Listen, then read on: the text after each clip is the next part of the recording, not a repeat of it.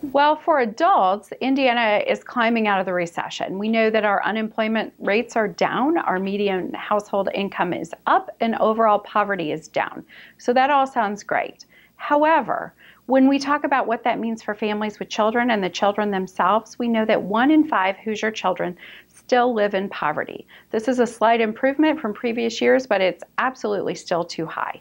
Delaware County actually had the highest child poverty rate in the state in 2015, and that meant that nearly a third of their kids lived in poverty. So think about that. Over 30% of their kids were living in poverty. When we asked why, some folks in that area thought that might be some of those experts told us the high paying manufacturing jobs have been replaced by lower paying post recession jobs. So Hamilton County has the lowest rate at 5.2%, and it's held that position consistently for the last several years. So, again, overall as a state, we're coming out of the recession. We have some good indicators, but they're just not trickling down yet to impact our kids positively.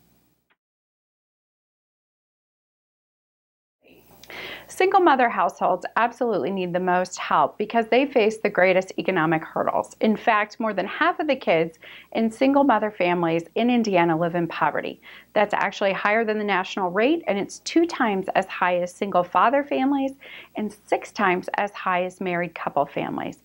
So that's an increase from the year before, and it's something we need to pay attention to. Single moms, we know, make approximately $10,000 less than single father families make. So again, a big chunk of that's going to go towards childcare. For those families where there's a single mom, that's going to be anywhere from about a quarter to almost 40% of their income, and that's three times as high as a married couple. So, again, those single mother families are facing a lot of hurdles, and there's a lot we can do to make sure we pay attention and assist them to make sure that those kids get the care and the nurturing they need.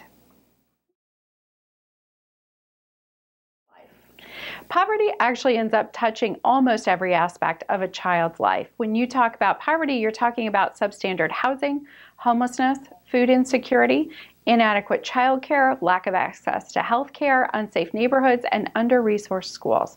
So, again, all of that combines to have this kind of recipe that can really impact, negatively impact our kids.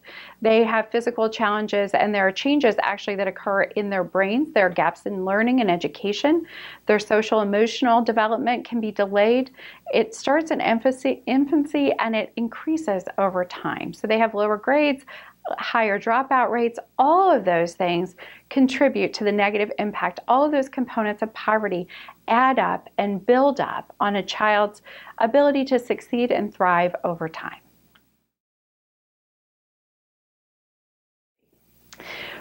we know that some of the negative brain changes that are connected to poverty can actually be countered by a couple of really straightforward aspects. One, that caregiver support. So we're talking about a parent, a grandparent, the network of teachers and caring adults in a child's life. We want to really try to focus on reducing the stressful situations in a child's life. We want to improve their environment. We know that in doing so, it can have long lasting positive effects. Part of that can be connected to after school programs, healthier lunches, mentoring relationships, involvement in school activities. We know that there are strengths in impoverished families. In fact, sometimes they are found to have closer family relationships. They eat meals more together every day. So we're asking, how can we help? How do we know when to intervene? How do, how do we help the kids that are living in impoverished circumstances? You can volunteer. You can volunteer to donate to charities that help low-income families or homeless kids. You can donate supplies. You can donate to food pantries. Really what we're asking everyone to do is pay attention to the kids, not just in your neighborhood, but in your schools and throughout your county. There are a lot of kids out there that could use your help.